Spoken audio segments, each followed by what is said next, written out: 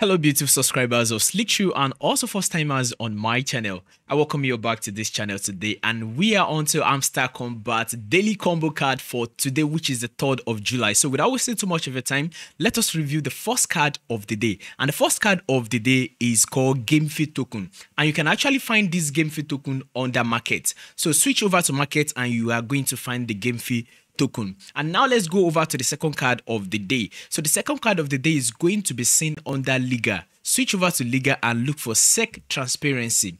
SEC Transparency is the second card of the day. And now to the third card of the day, you are going to see it under special and switch over to new cards on under special and you are going to see Web3 Game Con. Web3 Game Con is the third card of the day. So just complete the card and finalize your uh, daily combo on Hamster Kombat. So thank you for watching this video. If you find it helpful, kindly share this video, like, subscribe on this channel. And I'm going to see you later in another video and bye for now.